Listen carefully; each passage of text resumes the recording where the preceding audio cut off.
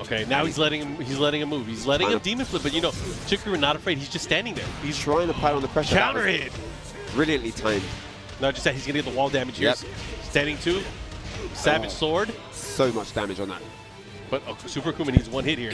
He needs one hit. If he gets one hit here, it's gonna. Oh my gosh, If he gets one hit here, it's party time. Oh. it's party time and Chikurin's invited. oh, here it is. Oh, here Ah, we go, here, we, go.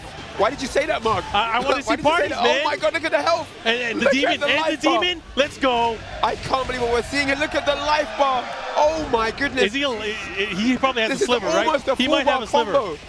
Oh my God! Oh my Let's days. go! Oh, the, the comeback. So you have 200 IQ. I got 202. Let's go. Wow, I cannot believe that. Guys, you need to clip that. That was absolutely insane. Almost 100% combo.